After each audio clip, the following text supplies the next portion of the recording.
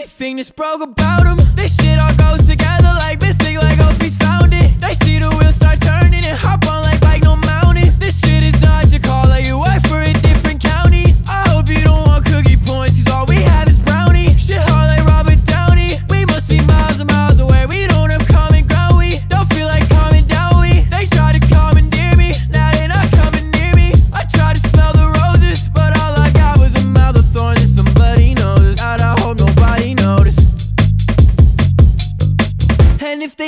oh well. And if I knew what I had to do, I would do it myself. It's been almost 21 years and I'm not used to myself. But I guess it's 21 years, I can get used to that shelf with the liquor on it. I run my numbers time and time again like it's an audit. I don't wanna go to college unless they pay me to go to college.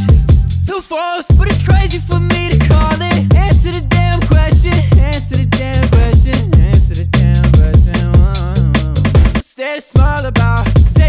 GPS back inside. Out for